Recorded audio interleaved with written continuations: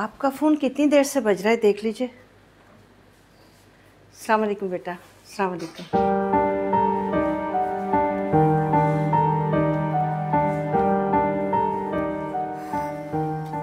میں نے بلایا اسے۔ امی جی آپ بات کیوں نہیں کر رہی؟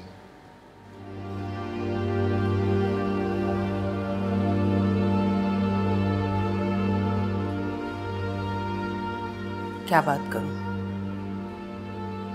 بات کرنے کو چھوڑا ہی کیا ہے تم لوگوں نے؟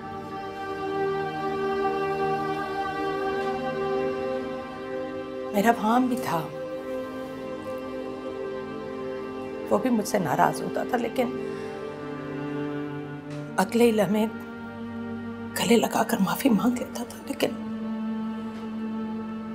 تم لوگ تو بالکل بھی یہی سوچ گئی امی جی آپ کیوں پریشان ہوتی ہیں؟ آپ کی طبیعت بھی ٹھیک نہیں رہتی ہے۔ اور ہم دونوں بے حص نہیں ہیں۔ بہت شکریہ اتنی بروا کرنے کا۔ اچھا پلیز ناراض کیوں یہ تو پتا ہی ہے۔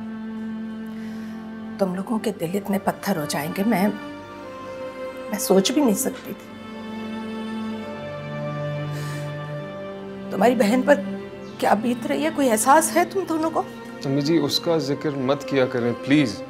کیوں ذکر نہ کروں؟ میں ہوں اس کی۔ اس کے اجڑنے کا تماشا خاموشی سے نہیں دیکھ سکتی میں۔ آج اگر مجھے کچھ ہو جاتا ہے تو تم دونوں تو اسے بے سہارا چھوڑ دو گے۔ اللہ نہ کرے ایسا ہو امی۔ اور آپ اور اب ایسا کیا ہوگی؟ وہ اپنا گھر خود خود تباہ کر رہی۔ آیا تھا نا زیشان اسے لینے کیوں نہیں چلی گئی اس کے ساتھ؟ بتائیے نا کیوں نہیں گئی وہ؟ یہ بات کی بات ہے کہ اسے جانا چاہیے تھا یا نہیں جانا چاہیے تھا۔ لیکن تم دونوں نے تو مشکل وقت میں ساتھ نہیں دیا نا اپنی بہن کا۔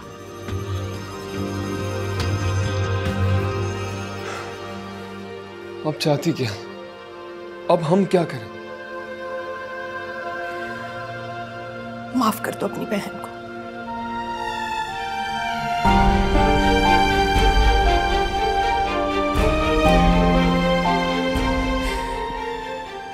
کے دکھ درد کا ویسے ہی احساس کرو، جیسے جیسے فہم کیا کرتا تھا۔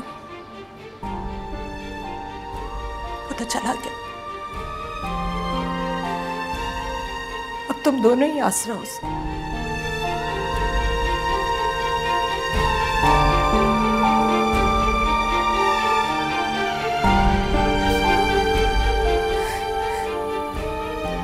اپنی بہن کو معاف کر دو۔ معاف کر دو۔